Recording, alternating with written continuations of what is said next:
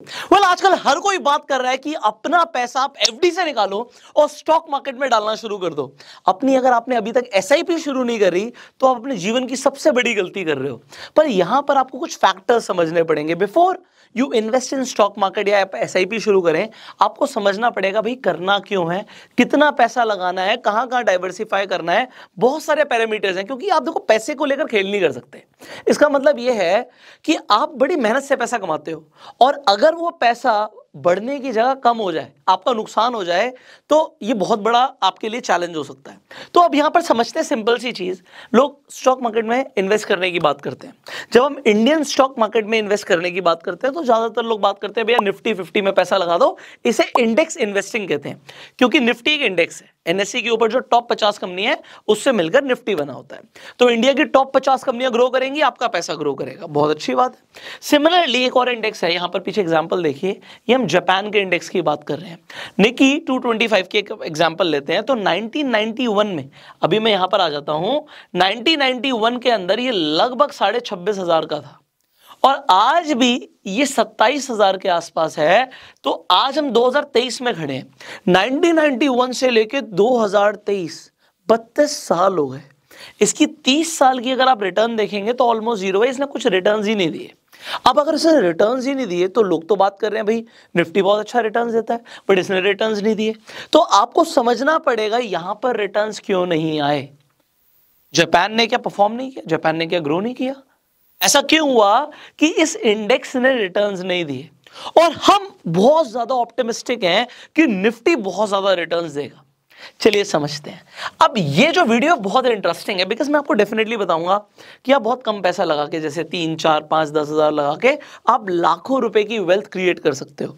In fact आप करोड़ों रुपए की भी वेल्थ क्रिएट कर सकते हो। Will just talk about that कैसे होगा स्टेप बाय स्टेप समझेंगे।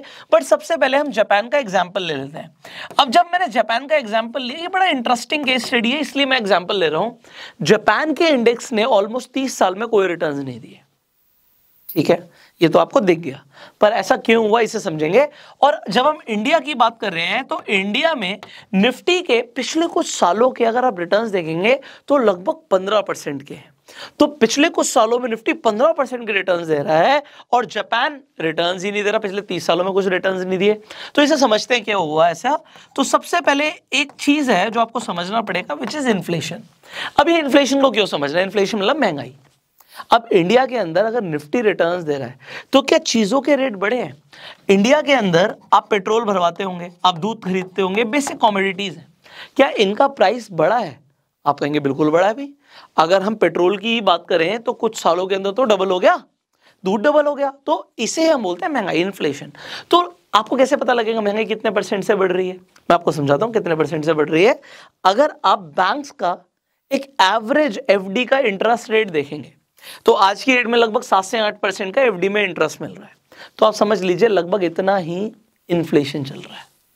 तो इन्फ्लेशन को जस्ट बीट करते हुए थोड़ा सा ज़्यादा रिटर्न दे रही होती है एफडी तो अगर आप एफडी में भी पैसा रखोगे तो बस पैसा कम नहीं होगा पर वो कुछ खास बढ़ेगा भी नहीं।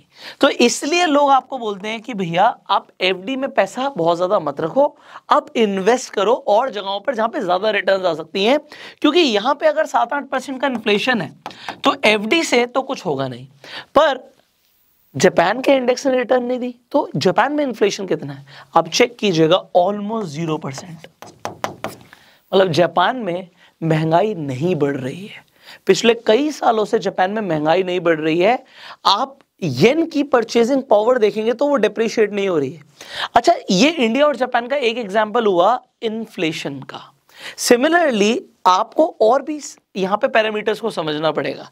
अगर आप इंडिया में लोन लेने जाते हैं तो आपको लगभग कितने परसेंट का ब्याज लगता है? और अगर आप जापान में लोन लेते हैं तो आपको लगभग कितने परसेंट का ब्याज लगता है? तो यहाँ पे ऑलमोस्ट ज़ीरो परसेंट का आपको ब्याज लगता है। पर इंडिया में आप देखोगे आठ परसेंट से ज़्यादा का ही ब्याज लगता है।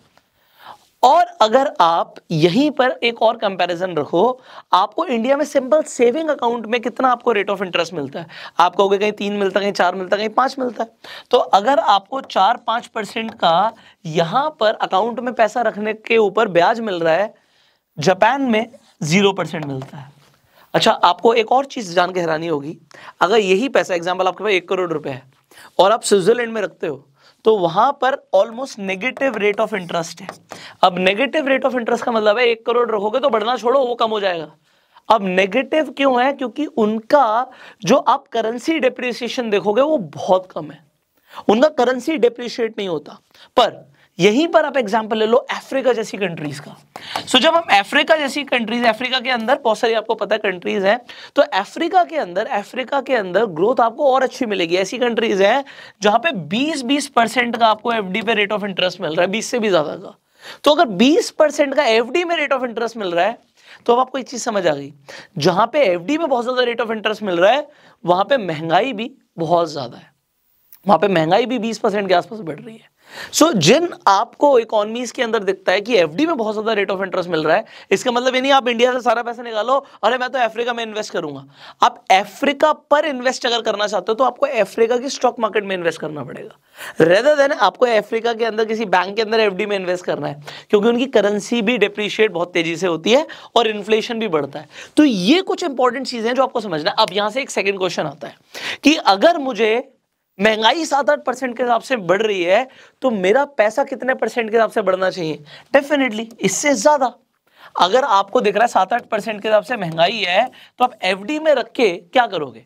ऐसा नहीं एफडी में बिल्कुल ही इन्वेस्ट नहीं करना। एफडी में भी इन्वेस्ट करना है but you have to think about it अभी मैं आपको इसका आंसर बिल्कुल एंड में दूँगा कि एफडी में रखना तो कितना रखना है और आपका पैसा ग्रो कैसे होगा।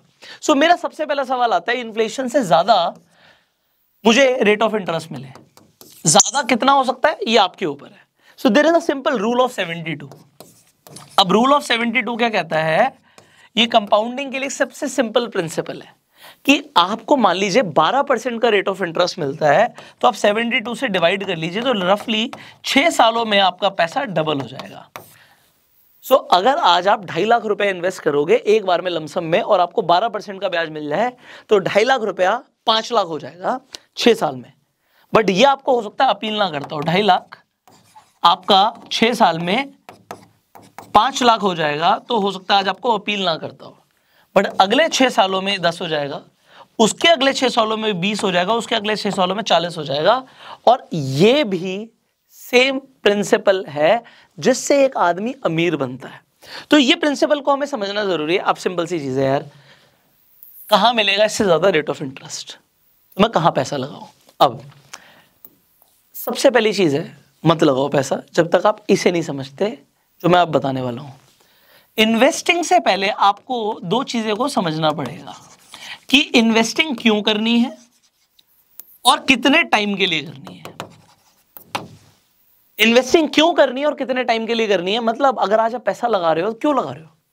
क्यों इन्वेस्ट करना है आपको? ठीक है, आपको पैसा बढ़ जाए। बट आप कितना चाहते हो पैसा बढ़ जाए और कितने टाइम में बढ़ जाए। अगर आपकी कोई इमीडिएट रिक्वायरमेंट है, आपको लग रहा है, नहीं भैया मुझे छह महीने में, आठ महीने में, साल भर में पैसे की ज़रूरत पड़ेगी तो मैं आपको वॉर्न करूँगा, आप स्टॉक मार्केट से दूर रहो। आप स्टॉक्स में पैसा बिल्कुल मत लगाना। क्योंकि साल भर के अंदर मार्केट करेक्ट भी हो सकती है, बढ़ भी सकती है, घट भी सकती है। तो यहाँ पे एक हाई रिस्क रहता है। हो सकता है आपको ज़रूरत थी पैसों की, आपने दस लाख रुपए डाल दिया और एक साल के अंदर मार्केट ने अच्छे रिटर्न्स ही नहीं दिए। हो सकता है करेक्शन आ गया। तो अगर आपका दस लाख, आठ लाख हो गया तो आपको लगेगा, यार, मैंने तो गलती कर दी पैसा लगा के स्टॉक्स में। आपकी इमीडिएट रिक्वायरमेंट थी। तो आपकी अगर इमीडिएट रिक्वायरमेंट है तो F D like instruments are good क्योंकि कम से कम आपका इन्फ्लेशन से प्रोटेक्शन मिल रहा है, पैसा कम नहीं हो रहा। और आपको इमरजेंसी फंड के लिए इमरजेंसी फंड क्या है? आपकी लगभग छह महीने की मंथली इनकम मिनिमम आपके पास सेफ़ रहनी चाहिए in something like F D like instrument ऐसी चीज़ जो सेफ़ है। छह महीने की सैलरी क्यों नहीं चाहिए? अगर बाई चांस आज आप जॉब करते हो और जॉब नहीं रही तो क्या होगा? छह महीने का घर कैसे चलेगा? वो आपका एक इमरजेंसी फंड है वो आप स्टॉक मार्केट में नहीं रख सकते। ये नहीं हो सकता कि मैं सारा पैसा यहाँ पे लगा दूँ। सो so, आप बहुत ज़्यादा रिस्क इस चीज़ के लिए नहीं ले सकते तो ये बिल्कुल सेफ़ चीज़ हो गई। पर अब आ जाते हैं थोड़ा सा लॉन्ग टर्म होराइजन जहाँ पे आप कहते हो नहीं यार मैं तो सेव कर रहा हूँ पंद्रह साल, बीस साल के लिए। और मैं चाहता हूँ ये पंद्रह, बीस साल के अंदर ना एक बहुत अच्छी पूंजी मेरे पास हो जाए। सो इसके लिए मैं आपको कुछ और बताऊँगा। अगर आप बोलोगे, मेरे को पाँच, दस साल के लिए इन्वेस्ट करना है तो इसके लिए मैं आपको कुछ और बताऊँगा। और अगर आप मुझे बोलोगे, दो से पाँच साल के लिए इन्वेस्ट करना है तो इसके लिए मैं आपको कुछ और बताऊँगा। तो इन तीनों के लिए मेरे पास आपके लिए डिफरेंट आप कह सकते हो सजेशन है, पर मैं आपको बोलूँगा बिफोर यू इन्वेस्ट कहीं पर भी, आप अपने फाइनेंशियल एडवाइजर से ज़रूर बात कीजिएगा। सो हम आगे बढ़ते हैं। जब मैं बोल रहा हूँ, ये अलग अलग होराइजन है तो इसको समझिए। मैं आपको बताता हूँ। जब आप यहाँ पर समझते हो स्टॉक मार्केट को तो स्टॉक मार्केट बेसिकली एक ऐसी मार्केट है, जहाँ पे आप स्टॉक खरीद सकते हो स्टॉक्स को बेच सकते हो। स्टॉक्स क्या होता है? कंपनियों में हिस्सेदारी। अब यहाँ पर बहुत ज़्यादा चांसेस हैं कि इंडियन इकोनॉमी आने वाले टाइम में बहुत ज़्यादा फ्लरिश कर सकती है। उसके सबसे बड़े रीजंस क्या हैं? हमारे पास पॉपुलेशन बहुत ज़्यादा है। ये पॉपुलेशन जैसे जैसे बढ़ेगी, इसे रोटी, कपड़ा, मकान मोबाइल फ़ोन आप कह सकते हो घूमना फिरना हर चीज़ की ज़रूरत है। तो कोई भी इंडस्ट्री इंडिया के अंदर आके अगर वो मासेस के लिए काम करती है तो वो बहुत अच्छा पैसा कमाने वाली है। लोग हमेशा पैसा देंगे और कंपनीज़ पैसा कमाएँगी कंपनीज़ पैसा कमाएँगी कंपनीज़ ग्रो करेंगी, हमारी इकोनॉमी ग्रो करेगी। तो बिल्कुल सिंपल चीज़ है। इससे सिंपल लॉजिक मैं आपको नहीं बता सकता। तो हमारे पास बहुत ज़्यादा कैपेसिटी है ग्रो करने की। क्योंकि हमारे पास बहुत ज़्यादा कैपेसिटी है ग्रो करने की तो अब आपको समझना पड़ेगा स्टॉक मार्केट के अंदर भी तीन तरीके की कंपनियाँ होती हैं। एक होती हैं large cap companies large cap क्या होती है? जिनकी मार्केट कैपिटलाइजेशन बहुत ज़्यादा है। तो निफ्टी फिफ्टी के अंदर जो पचास कंपनी आएँगी, उन सब की मार्केट कैप बहुत ज़्यादा है। तो उसे हम लार्ज कैप कंपनी बोल सकते हैं।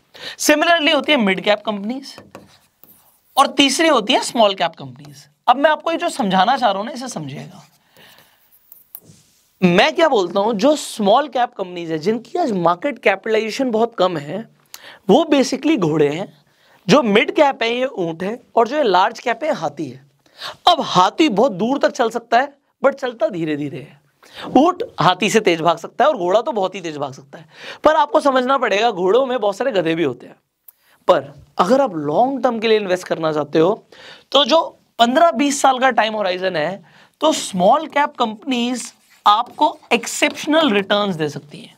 तो जहाँ पे हम 12 परसेंट की बात कर रहे हैं, आपको 15 20 परसेंट या उससे भी ज़्यादा रिटर्न्स मिल सकती हैं ओवर द इयर्स सो अगर एग्ज़ाम्पल के लिए आपको 12 की जगह रूल ऑफ़ 72 की बात कर रहा हूँ 24 परसेंट की रिटर्न मिल गई तो आपका पैसा जो डबल हो रहा था छह सालों में, वो तीन साल में होना शुरू हो जाएगा and then you can see the magic because मैंने एग्ज़ाम्पल दिया था, ढाई लाख का पाँच लाख पाँच लाख का दस लाख, जो छह छह साल में हो रहा था, वो तीन तीन साल में होना शुरू हो जाएगा तो compounding can become fast but ये इमीडिएटली नहीं होता. ओवर द ईयर्स की रिटर्न आपको लगभग 20 परसेंट तक की भी मिल सकती है स्मॉल कैप्स में। ऐसे बहुत सारे म्यूचुअल फंड्स हैं, जिनका C A G R compounded annual growth rate जो है 20 परसेंट इनफैक्ट 25 परसेंट, उससे भी ज़्यादा है। तो ये हो गया एक सिंपल सी चीज़। दूसरा कंसेप्ट क्या है? जब आप इन्वेस्ट कर रहे हो पाँच से दस साल के होराइजन के लिए you can consider mid cap और फ्लेक्सी कैप कंपनीज़ अब फ्लेक्सी कैप में और मिड कैप में एक फ़र्क होता है। ये बेसिकली म्यूचुअल फंड्स के लिए हो गया। अगर आप एसआईपी करना चाहते हैं तो इनफैक्ट आप इन्वेस्ट भी करना चाहते हैं तो flexi cap basically mutual funds होते हैं। वो म्यूचुअल फंड्स मिड कैप में क्या हो गया? अगर मिड कैप म्यूचुअल फंड है तो वो ज़्यादातर मिड कैप कंपनीज़ में पैसा लगाएगा बट फ्लेक्सी कैप के लिए ऐसा नहीं है। वो स्मॉल में भी लगा सकता है मिड में भी लगा सकता है और लार्ज में भी लगा सकता है। पर अगर आपका टाइम होराइजन दो से पाँच साल का है तो आपको लार्ज कैप कंपनीज़ कंसीडर करनी चाहिए, क्योंकि यहाँ पर क्या है? देखिए, अगर मार्केट में करेक्शन आता है ना तो जो स्मॉल कैप कंपनीज़ है ना, वो बहुत ज़्यादा टूट सकती हैं। पर यहाँ पे लार्ज कैप कंपनीज़ के जो शेयर प्राइसेस हैं, वो बहुत ज़्यादा नहीं टूटते हैं। ये एक इंपॉर्टेंट चीज़ है। बढ़ेंगे भी धीरे धीरे टूटेंगे भी धीरे धीरे स्मॉल कैप में बढ़ेंगे भी तेज और टूटेंगे भी तेज। लॉन्ग टर्म के अंदर स्मॉल कैप से बढ़िया कुछ नहीं है।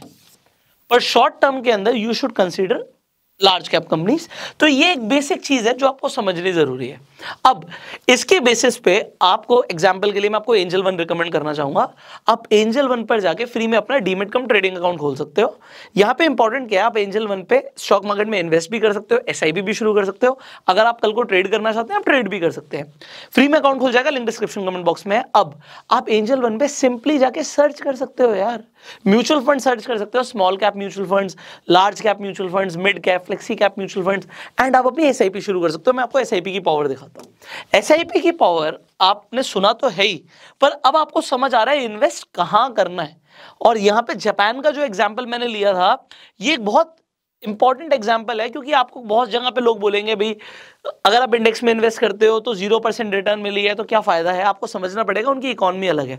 इंडियन इकोनॉमी के अंदर पोटेंशियल बहुत ज़्यादा है। एग्ज़ाम्पल के लिए आप एसआईपी चूज़ करते हो तो पैंतीस सौ रुपए महीने की ही एसआईपी अगर आपको एग्ज़ाम्पल पंद्रह परसेंट के रिटर्न मिल जाते हैं, अब लॉन्ग टर्म में तो मैंने आपको बता दिया कि स्मॉल गैप फ्लेक्सी गैप के अंदर आपको पंद्रह परसेंट तक के रिटर्न मिल सकते हैं, और अगर आपका इन्वेस्टमेंट पीरियड से दस सालों का भी है तो दस साल के अंदर होगा क्या?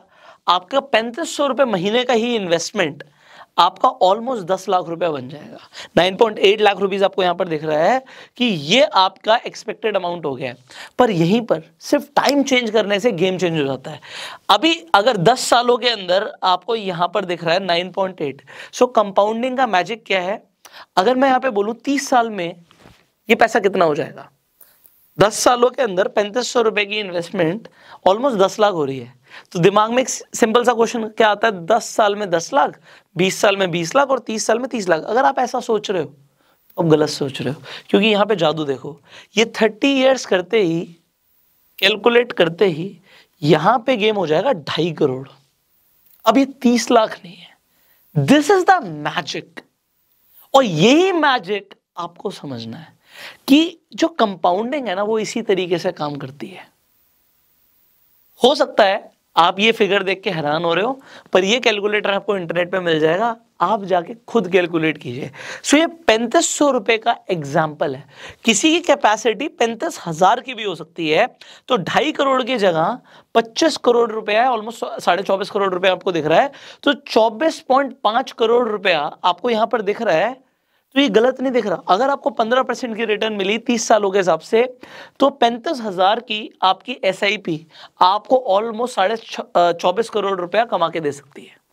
अब यू फिगर आउट योर कि भैया आप पैंतीस हज़ार इन्वेस्ट कर सकते हो या सिर्फ़ पाँच सौ रुपए महीना इन्वेस्ट कर सकते हो। पाँच सौ रुपया महीना भी पैंतीस लाख रुपया बनता है। आज पाँच सौ रुपया कब खर्च हो जाता है हमें नहीं पता लगता। पर अगर एक अच्छी आदत डाली जाए और इन्वेस्टमेंट शुरू की जाए तो आप अपने आने वाली जनरेशन के लिए बहुत कुछ कर सकते हो। अब डेफिनेटली तीस साल एक बड़ा होराइजन है, पर आप अपने गोल्स के हिसाब से सोचिए, किसके लिए इन्वेस्ट करना है? अपने लिए अपने लिए करना है, तब भी ये तीस साल की जगह, ये ईयर पाँच साल भी हो सकते हैं, दस साल भी हो सकते हैं, आपके गोल्स के अकॉर्डिंग पर आपका पैसा बढ़ेगा अगर आप इन्वेस्ट करोगे। क्योंकि अगर आपने इन्वेस्टमेंट नहीं किया तो अभी आपने रूल ऑफ़ सेवेंटी टू को समझा कि रूल ऑफ़ सेवेंटी टू कहता है अभी मैं रूल ऑफ़ सेवेंटी टू दोबारा समझा रहा हूँ। रूल ऑफ़ सेवेंटी टू कहता है कि अगर आपको 12 परसेंट के हिसाब से इंटरेस्ट मिल रहा था तो छह साल में पैसा डबल हो रहा था। ठीक है ना? हमने भी समझा था। अब मैं आपको एक सवाल पूछता हूँ। आज आपके पास घर में पैसा जुड़ा हुआ है। वो हो सकता है आज आपके पास दस लाख रुपए ऑलरेडी जुड़ा हो। मैंने एग्ज़ाम्पल ले लिया, दस लाख रुपए जुड़ा हुआ है आज आपके पास। मुझे आप बस इतना बताइए कि अगर ब्याज नहीं मिला, पैसा जुड़ा हुआ है और महँगाई बढ़ती रही, हम वर्ष के सिनेरियो ले लेते हैं कि सात परसेंट के हिसाब से इन्फ्लेशन बढ़ता रहा। तो अगले दस सालों में टेन ईयर्स के अंदर ये आपका दस लाख रुपया कितना रह जाएगा? सो आप इसकी कैलकुलेशन करते रहना, मैं आपको आंसर दे देता हूँ, याद हो जाएगा।